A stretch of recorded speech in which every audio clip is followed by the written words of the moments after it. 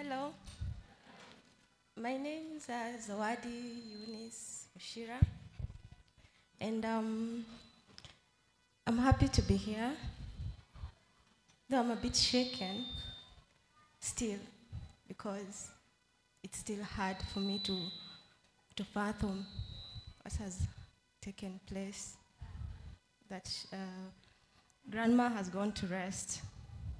I want to thank the congregation, the bishops, and every important person over here, and also mom. They took me in as their own, and every day they remind me that I am their daughter. Well, I will not talk a lot, but it's been a journey, and the journey hasn't been easy. Being uh, Dorcas Moheu, I always used to call her Mohesh. Being her, her doctor, it's a privilege, actually. It's a, it's a privilege to take care of a, a palliative care patient. It's not easy. But we walked the journey through, through and through. And I remember the name she used to call me all the time was Moiretu. I'm not Kikuyu, but I learned Kikuyu because of this family. And uh, she would tell me all the time, Moiretu, tiga, tiga, tiga, if she does not want something. And if she wants something, she'll be right, Moiretu. That's when you know she wants something. And Dorcas, I was with her throughout until the day she passed.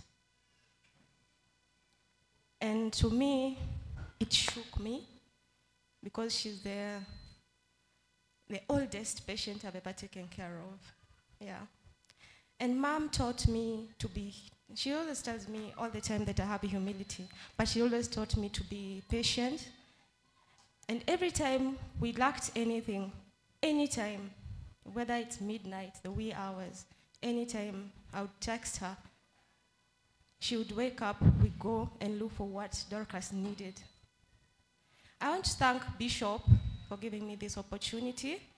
Yeah, it's not easy for me to be this brave, but he told me the other day in his office, Zawadi, thank you for being there for my, my mom. Thank you for taking care of my mom. You persevered everything, and it's okay.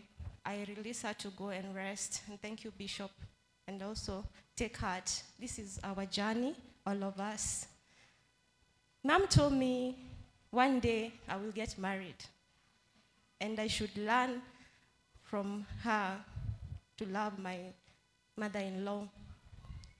And that's one, one day, if my husband is here somewhere, and God bless me, I will love my, grand, my, my grandma. I will love my, my mother in law the way she did. She's, that was the, the greatest wisdom I ever learned from you. I learned to thank Kigwa, Engineer Kigwa. Every time we lacked, you know that Shosho was back in the hospital. The diapers are still there. So I want to thank all of you. I have uh, not much to say, I officially announce she is single and ready to mingle. Ine arume. Asante daktari. Kuri maroya moko iguru aboni. boni. Please. Na mwina giginya mena akeni maroya na igũrũ atĩ nĩguo wamũhikia gũthondekage maheni ndangĩgũthondeka mutumia waku agũthondekage dagitari. now we have the other part of the program ambayo ninaatia watu watatu